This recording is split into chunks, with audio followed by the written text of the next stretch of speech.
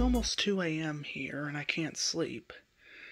And I got a project I'm about to be uploading here later, so I figured might as well fire up the Toshiba Tecra A9 laptop. I just plugged it in just moments ago. It is supposed to be running Windows Vista Basic, but it's not Windows Vista Basic. So we got power. Ah, the CMOS battery is low, or dead. Hmm. That's pretty typical. Okay, let me uh, reset that real quick. Hold on. Oh, let's see. There we go. So it's April 18, 2021.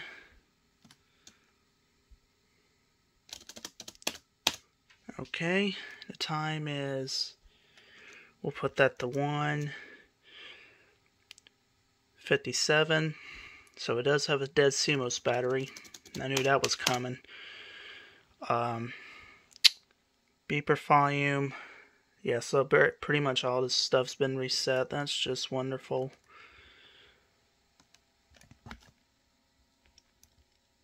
Fans are kind of sound a little fishy. What in the world? Hold on. Just there we go.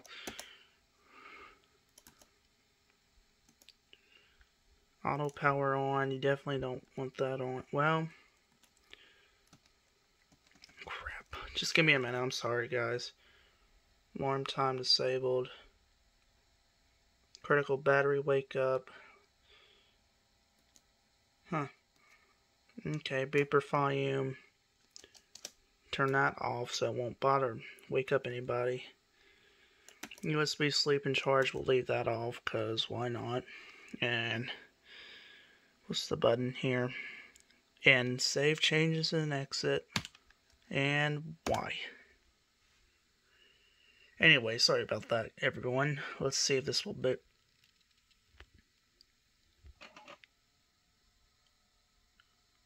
Yeah, it's running Windows XP. It's supposed to be running Vista Basic. This is this is this does have an SSD drive in it, by the way, so it's going to load a whole lot quicker than you think.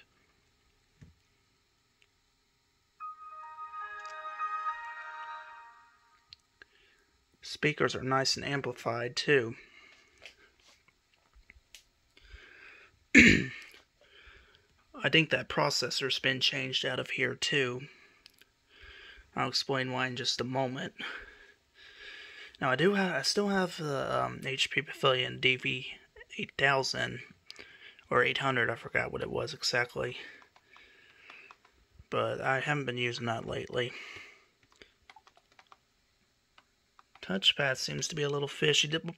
All right, I'm gonna I'm gonna give you a little disclaimer. These weren't originally my laptops, so this is the HP Pavilion DV8 hundred or eight thousand. Again, I forgot which one exactly. Wait, does it have the thing where it where you? No, it okay. So because um, it's not what I meant to do. I want to show y'all what the. Yeah, that's what I'm trying to do. So yeah, the uh, processor has been changed apparently. It's supposed to be Intel Centrino. That's a Core 2 Duo running at 2 point, a little over 2 gigahertz. 1 gig, almost, well, probably 1 gig of RAM to be exact. This laptop was slap dead because I haven't used it in months. A few months ago, I did a um did some update on the HP DV8 thousand or whatever. Let me see. There is a problem I've been noticing, but I gotta find my flash drive real quick and see if we can get portable update to work. Just a second. Okay, got the flash drive here. It is connected to internet. It's running over Wi-Fi, so there is a USB port on the side here. Let's. Yeah, it works. There's two more on this side too, I believe. Let's go to. This touchpad is so sensitive. Well, kind of. And uh, see if this works. I probably got to update it. If that's the case, I'm going to have to hook it up over Ethernet. But let's just see. Of course, it can only be updated. All right, uh, let me hook this. Well, it does have. You know, this does, this does have a. This is kind of rare. Tell me if this is rare or not. Just ignore the name. But you see that where it says 5G? And man, I'll be. You know what? This this does support 5G wireless. That's pretty rare. So, I guess whatever whoever my um uncle is trusting trusting, the guy he was trusting must have did a good job on this laptop. I'm gonna try to update that over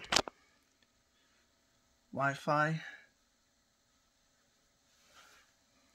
Oh yeah, same do so good. It's doing good so far. So I'll come back once this is done. And hopefully hopefully this will work. So I'll be back in just a little bit. Alright, it's just hitting a little over 30%, coming up to about 40%, but I'll just give you a quick look around. And as you can see, this is a universal charger because, yeah, it's a rocket, rocket fish. Rocket fish. I don't think that's right. It's Rocket Man, not Rocket Fish. Anyways, here's the front of it. it does have the wireless on and off switch, the radio control. Got your volume knob right there. Headphone jack, microphone. I don't know what that is. And you got all your lights down right here. Card reader. Yeah, it starts with the card read SD card reader light. Then the charging light, power light, battery, disc light, and the disc light. And you got uh, the Wi-Fi light. This this does This does have Bluetooth on here as well, but unfortunately, since I reinstalled Windows, it hasn't worked, so I don't know what that's all about. And I, I really don't have a Windows Vista installation CD with me right now to reinstall it back to the, you know, the original OS. Of course, you got that. Two USB ports, the fan, serial port, I gotta be I gotta be careful, not try not to throw a blue screen if that flash drive comes off. I've seen that happen before. You have your uh on the left side here you have your charging port, phone jack. I think the phone jack does not work on here neither. I tried that before. It has Ethernet and VGA port right there. Phone jack's not working neither, so Bluetooth and uh, phone jack's not working. I mean, I didn't use it for download purposes. I did it. There was a program I installed to where it receives calls. And some, uh, uh, what do you call it? I guess phone cards or whatever you call it.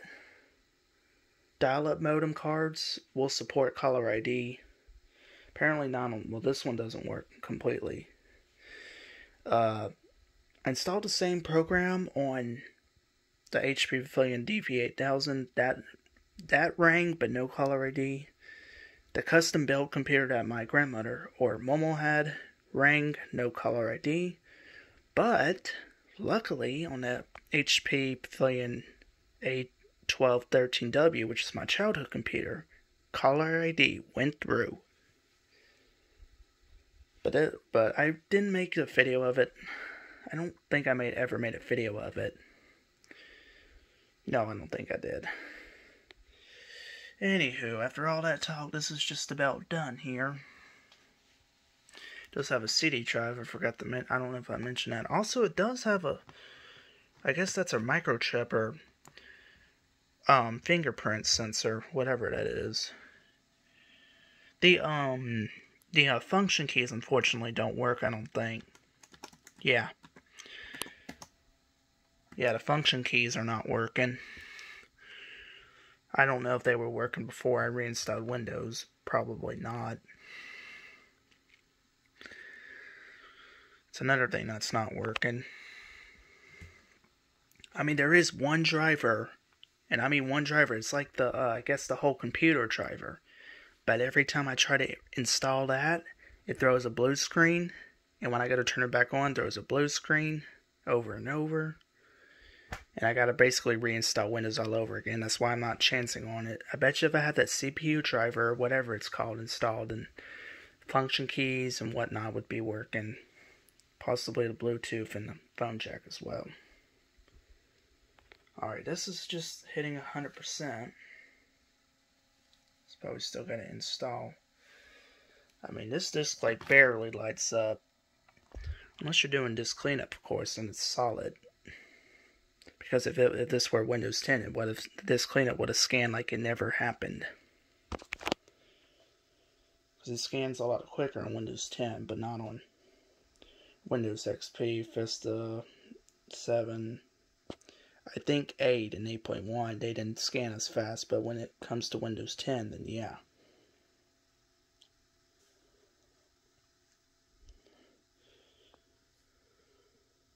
I doubt this is going to work because this has been giving me trouble. It's been throwing an error, which I'll explain here. In fact, while I'm at it, let's check and see if, because this YouTuber, great YouTuber, JK18 told me about this, um, making sure a service is started. What the heck was that? Okay. Is the bit service running? It is not. Let's let's just start that real quick. I thought I set that to manual, but apparently not. Bit service is on.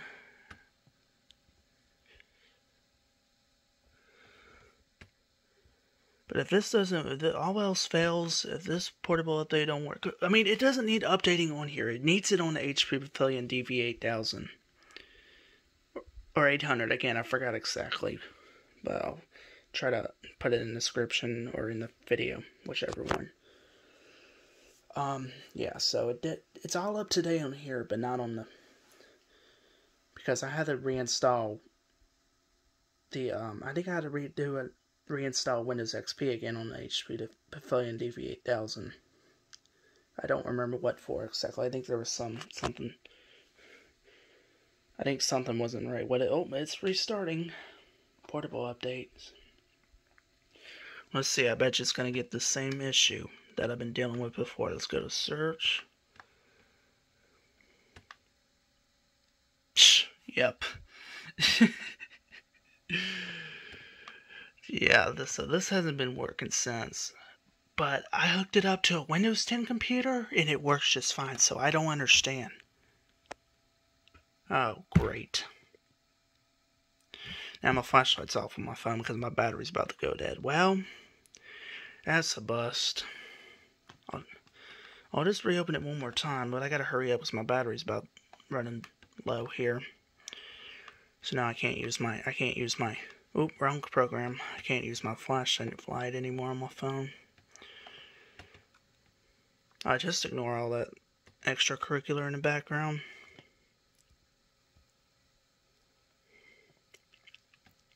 I'm just pretending I didn't see, we didn't see that.